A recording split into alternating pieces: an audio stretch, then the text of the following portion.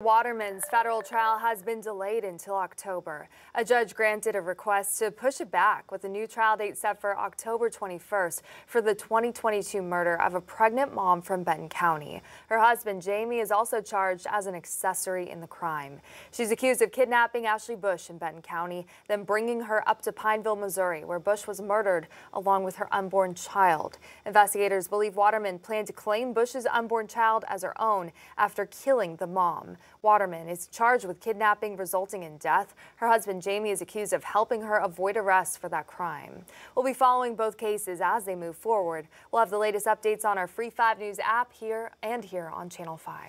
New at